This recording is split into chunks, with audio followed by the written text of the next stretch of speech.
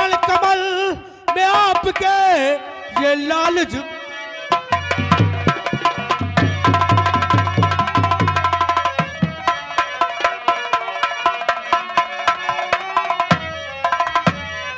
चरण कमल में आपके ये लाल झुका ये शीश सुफल मनोरथ हो मेरे ये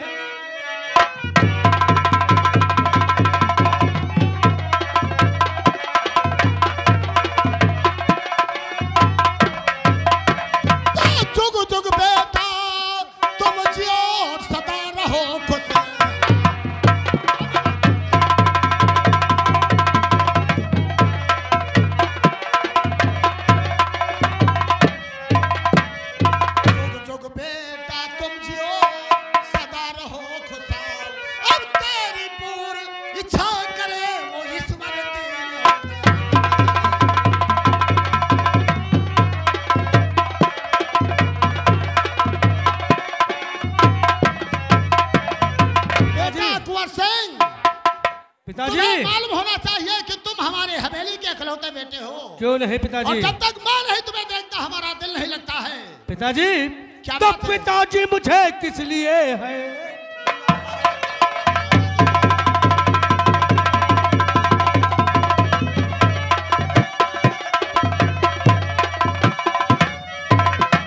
पिताजी मुझे किस लिए है बुलाया? नहीं माजरा कुछ समझ में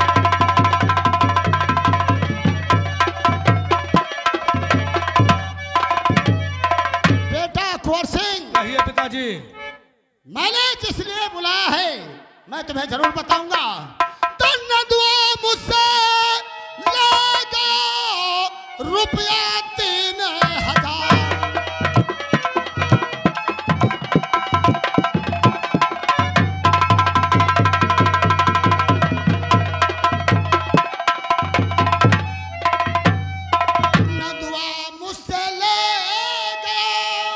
रुपया तीन हज़ार।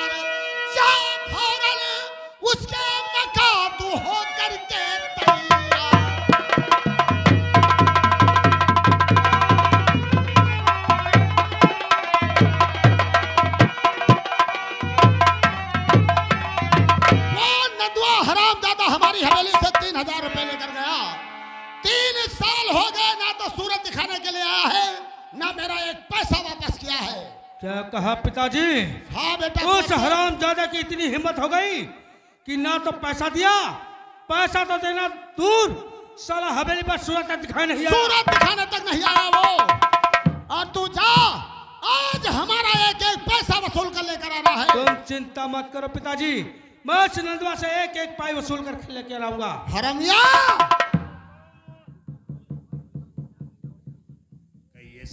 देख रुपए दिए थे। उस वक्त तू मौजूद था। तो हमारे बेटे कुंवर सिंह के साथ जा और नंदुआ से एक एक पैसा वसूल कर लेकर आ अच्छी बात है। बेटा कुंवर सिंह मैं चल रहा हूँ आराम करने के लिए लेकिन नंदुआ से हमारा पैसा वसूल कर लाना है। तुम तो फ़िक्र मत करो पिताजी आप चलकर हवेली पर आराम कीजिए।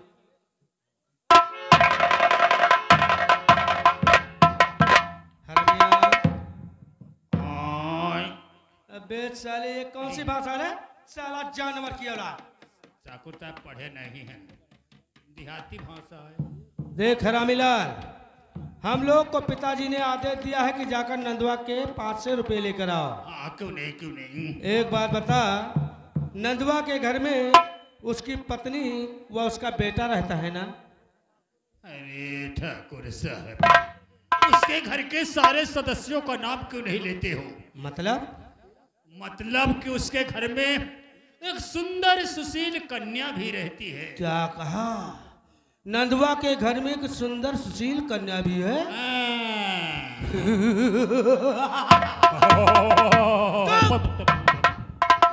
साले कितनी बार कहा है मेरे सामने घोड़े गधे की हँसी माथा सकार अरे भाकुर भैया। नहीं नहीं।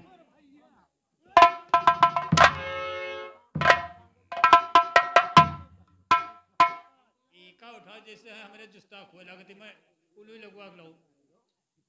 रमिया तो आज हम चलते हैं नंदुआ के घर। अरे मगर ठाकुर साहब लेकिन लेकिन क्या?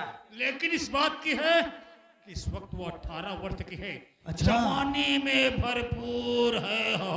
गजब न गजब। साले मुँह कम नहीं बनाता है?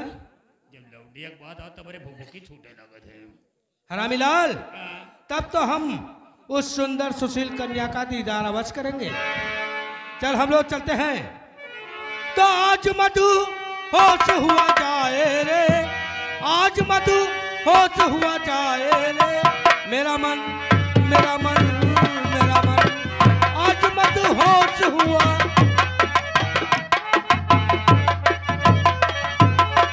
शरारत करने को ललचाए रे मन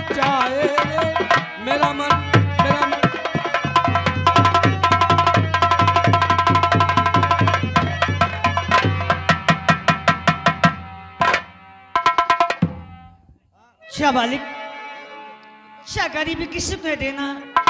किसी को देना?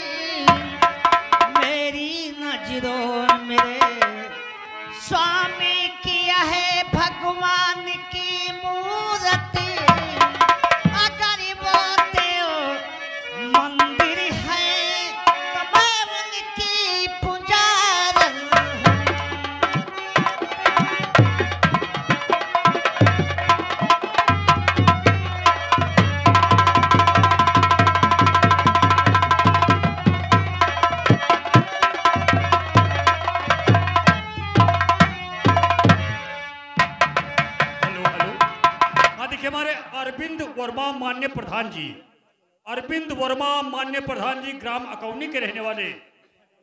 चतौनी के रहने वाले हैं और उनका खास तौर कहना है सूरज की माँ। हाँ भैया सोमनाथ से आके मुलाकात कर लीजिए बहुत बेचैनी से याद कर। रहे हैं सर आप जी जहाँ पे हो कृपया करके आके मिल लें।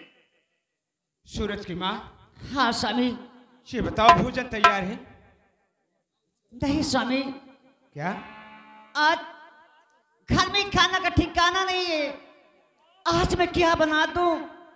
बच्चे स्कूल गए हैं और भी आते होंगे। मुझसे खाना मांगेंगे। तो मैं कहाँ से मैं दूँगी स्वामी? क्या? हाँ स्वामी। घर में कुछ नहीं है? कुछ नहीं स्वामी। सूरज की माँ अब क्या होगा? सूरज की माँ कोई उपाय बताओ?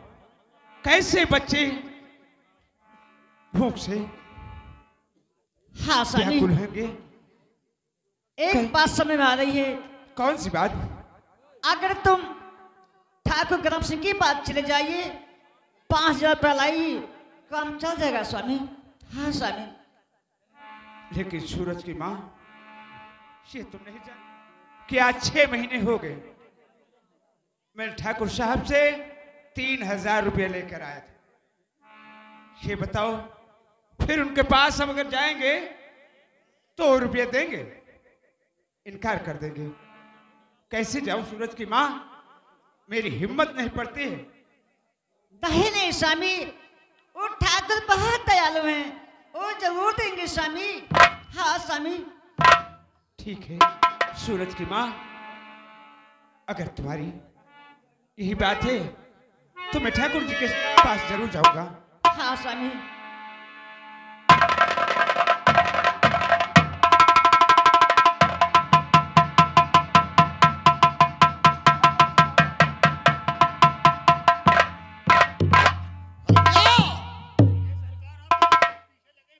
देख बेटा कुंवर सिंह गया है नंदुआ के यहाँ। हाँ। वो अभी तक वापस नहीं आया? अरे भैया जिस काम के लिए जाते हैं, बिना हासिल किए वापस आते नहीं हैं। ठीक है मैं उसका इंतज़ार करूँगा। अच्छा कौन कौन आवाज़ कर रहा है? देखते हैं बैठ बैठ।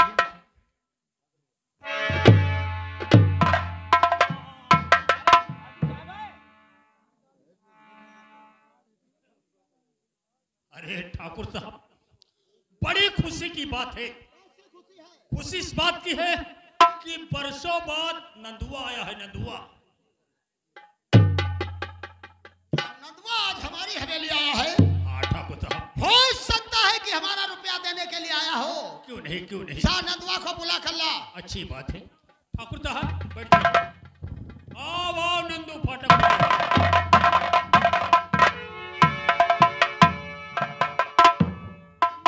अच्छी है ठाकुर साहब नमस्कार।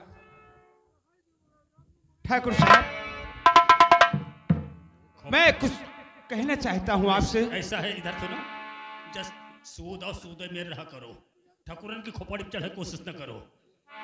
ससुरदास नहीं के ठाकुर ठाकुर मुनीम खड़े आगे उनसे बोलते नहीं। लो लो पैसे लाए होते ने हमको मालूम था। नहीं भैया। पैसे नहीं लाया हूँ। लेने आया हूँ। लेने? हाँ। ठाकुर साहब कुछ कहना चाहता हूँ। और गरीबों के दाता। ठाकुर साहब गरीबों के दाता दया मुझ पे कीजिए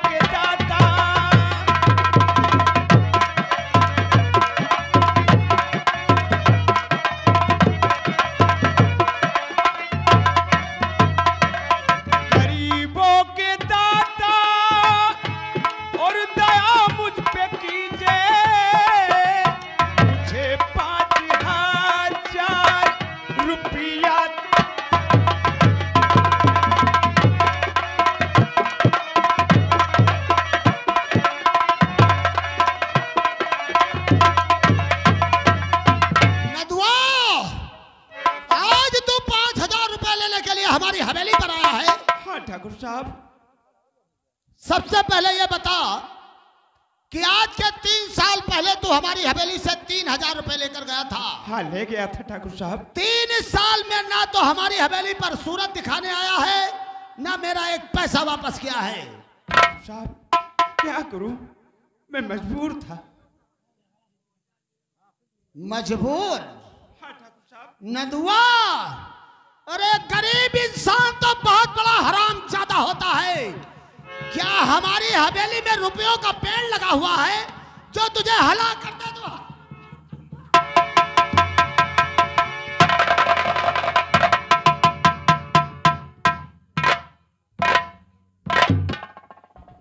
पिताजी ये क्या कर रहे हो हैं?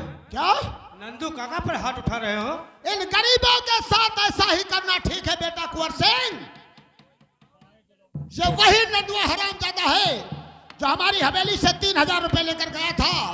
तीन साल ना तो हमारा रुपया वापस किया ना हवेली पर सूरत दिखाने के लिए आया है। पिताजी। और आज ये पाँच हज़ार रुपए लेने के लिए आया है। पिताजी जरा सोचो अगर आज ये गरीब नहीं होता तो हम लोग हैं? और फिर गरीबों की मदद करना तो हम लोग का परम कर्तव्य है पिताजी। तो क्या तुम्हारे कहने का मतलब है कि हम इसे रुपए दे दें? हाँ पिताजी। बेटा कुंवर सिंह तुम हमारी हवेली का वसूल अच्छी तरह से जानते हो। जानता हूँ पिताजी। समझाई से हम रुपए देंगे। क्या बात है नंदू काका? छोटे सरकार बात छोटे सरकार मैं कैसे तुमसे कहूँ? छोटे सरकार आज तीन दिन हो गए घर में मेरे चूल्हा नहीं जला है। बच्चों भूख के मारे। क्या? बिलक रहे हैं छोटे सरकार। क्या कहा? तीन दिन से तुम्हारे घर में चूल्हा नहीं जला। हाँ तुम्हारे बीवी बच्चे भूखों मर रहे हैं। अरे तो तुम्हें पहले आ जाना चाहिए था। तुम चिंता मत करो नंदू काका। तुम्हारी मदद मैं करूँगा मैं। छोटे सरकार पाँच हज़ार रुपये की ज़रूरत है। हरमिया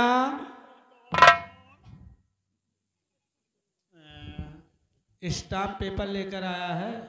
अरे ठाकुर साहब ये हरामी लाल कभी गाफिल नहीं रहता है। स्टाम्प पेपर हर वक्त अपने पास रखता है। ये- कहाँ? ये देखो। साले ये स्टाम्प पेपर है।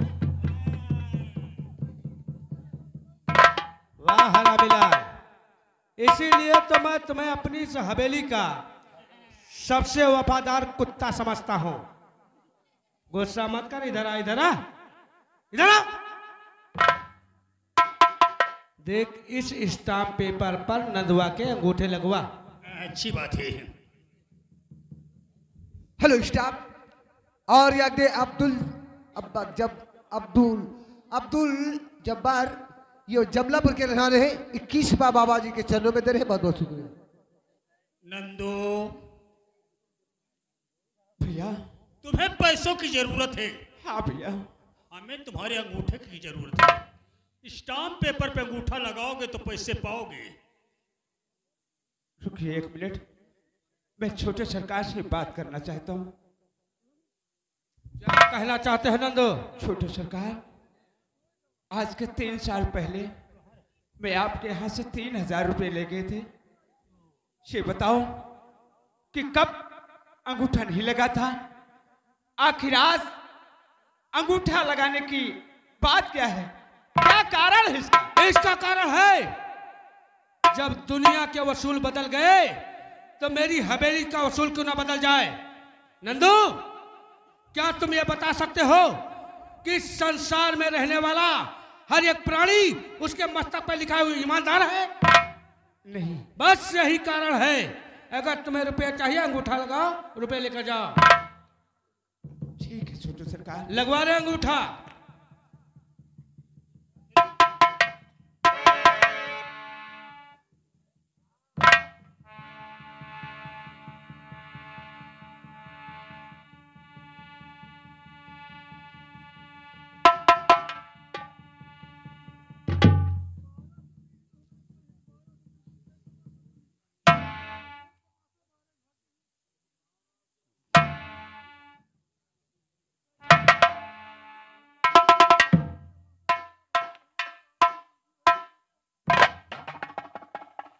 बेटा कुंवर सिंह जाओ नदवा को पाँच हज़ार रुपए दे दो। ठीक है पिताजी। ए हरामीलाल नंदू को जाकर तिजोरी से पाँच हज़ार रुपये निकाल कर दे दो।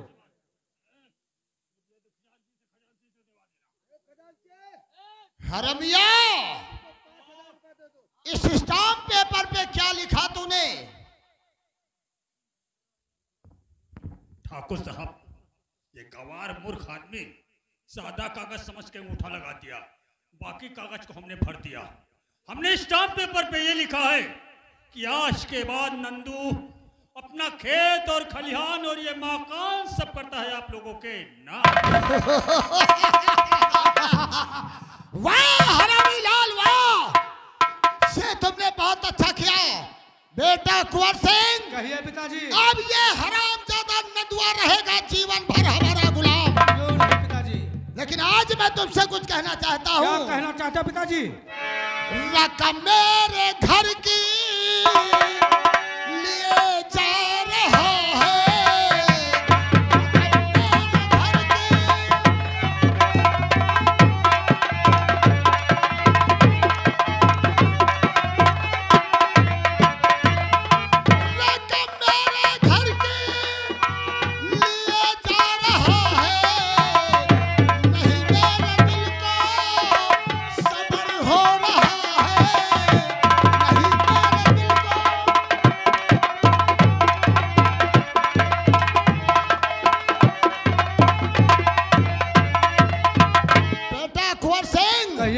ये हराम ज़्यादा गरीब इंसान हमारे घर से रकम लेकर जा रहा है।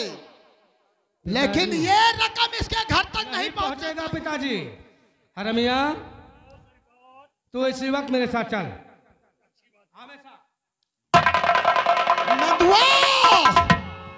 तू क्या समझता है कि मैं ये रुपए ले जाकर अपने बीबी और बच्चों को खिलाऊँगा? मैं ये रुपए तेरे घर तक नहीं पहुँचने दूँगा। आ रहा है मेरा बेटा कुंवर सिंह। जब तक तुझसे रुपए छीन नहीं लेगा, तब तक वापस नहीं। हेलो साहब यागे राम फिर भाई साहब गगुया पठान के रहने वाले ये भाई बीस बात रहे बहुत बहुत शुक्रिया, चंदा।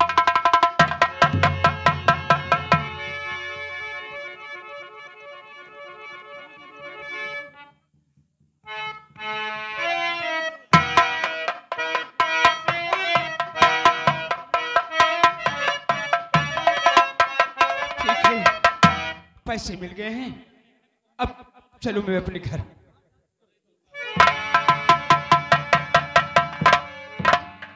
नंदू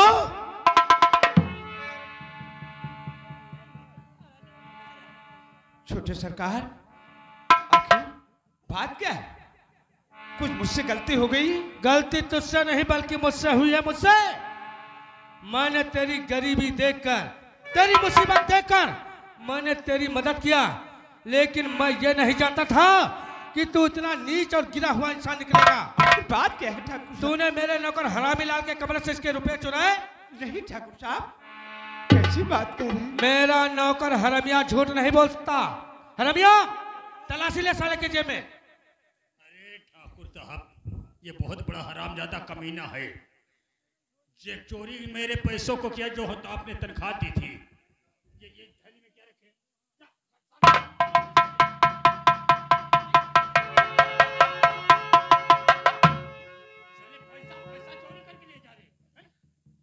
नंदवा! सरकार ये पैसे आप ही दिए थे। उन्हीं पैसे हैं। नंदवा आज से तीन साल पहले तू मेरी हवेली से तीन हज़ार रुपये लेकर आया था। उसका ब्याज दिया। लेकिन मुझे वो रुपये इसी वक्त और अभी चाहिए। ठाकुर साहब इसी वक्त मैं कहा पाऊँगा पैसा? कहीं से लेकर आ? नहीं ठाकुर साहब मुझे थोड़े दिन की मोहलत दीजिए। तुझे थोड़े दिन की नहीं बल्कि एक मिनट की मोहलत नहीं मिलने वाली है। तो रकम मेरी तू पाई पाई।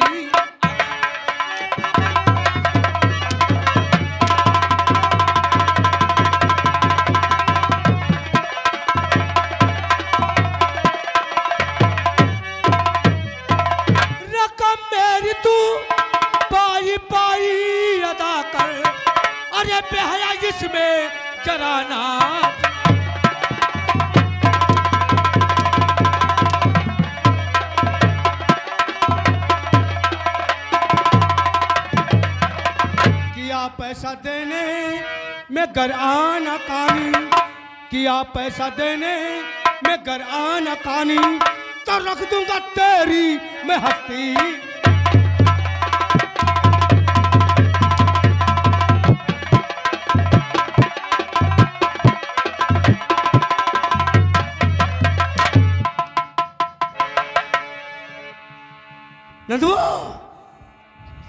मुझे इसी वक्त पे चाहिए। छोटे सरकार नहीं अब से दम सरकार ठाओ